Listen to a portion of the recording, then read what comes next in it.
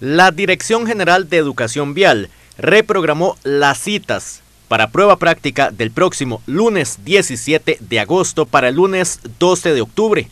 Tome en cuenta este detalle. Los espacios fueron afectados debido a la aplicación de la ley que traslada los feriados a los lunes, aprobada el mes pasado.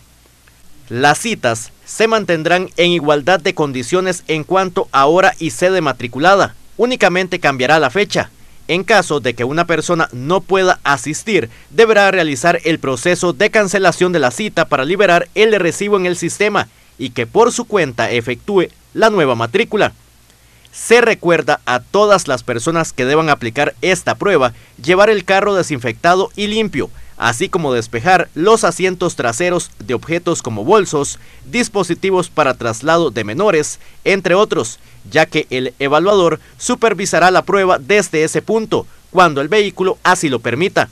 Asimismo, se enfatiza en la obligación de portar mascarilla o careta tanto en las instalaciones de educación vial como en toda la prueba. Educación Vial tiene dos sedes en la región Brunca, una en Pérez Celedón y la otra en Río Claro.